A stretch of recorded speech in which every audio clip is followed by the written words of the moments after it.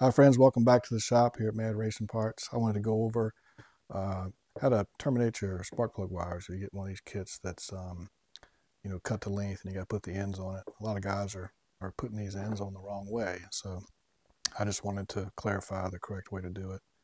Um, they need a good tool. MSD makes it. Uh, these people make it. Several companies to get it from. But anyway, once you have a tool like this, um, you just need to strip a little bit of the wire off. We're looking at about 3 eighths of an inch we want to get. So squeeze that tool, we give them a little twist, and then the insulation pops off. It's important that you don't uh, damage this wound core, that it stays intact, there's nothing frayed or messed up on it. And the other part that people miss is this takes two crimps. It gets a crimp here, which is on the core, and then the outer crimp.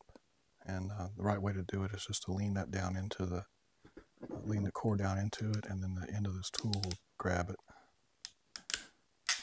and that crimps the, the core and then you straighten the wire out. It's pretty simple, I mean, but a lot of people do it wrong, so I figured we'd make a little video.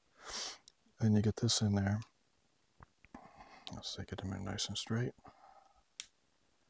All right, and just do a quick crimp on that. And now you've got a properly secure wire. It's not going to fall off or give any trouble.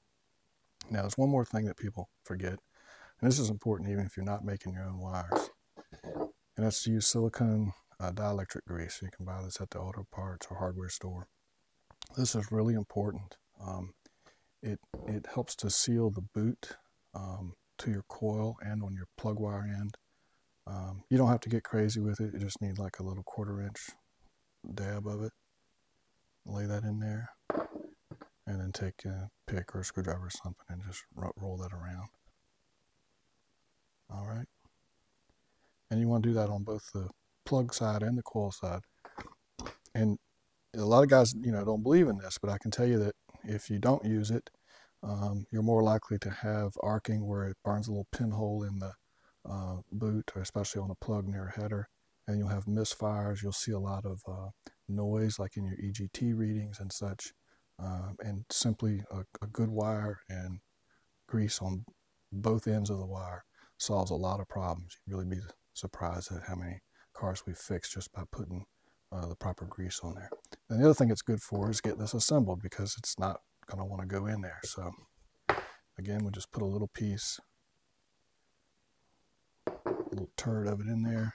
Hang on.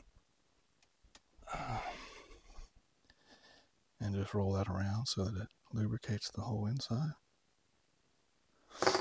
And then you can push this wire right in, no problem. And there it is, it's all in, and that's ready to go on your coil. So that was today's tip. Uh, use this grease. I don't care whose wires you run.